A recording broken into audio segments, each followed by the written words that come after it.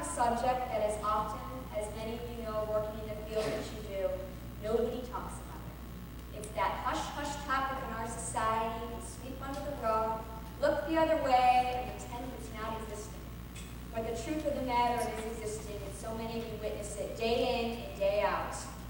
Yet we live in a society that if you're not working hands-on with children that have been abused, then we often look the other way. I call my story Justice Through My Voice, because that's honestly how I found the justice in my life. It was through the one thing I couldn't reclaim in my childhood, after my innocence had been killed. My trust had been taken, but the one thing I could get back was the voice that was silenced.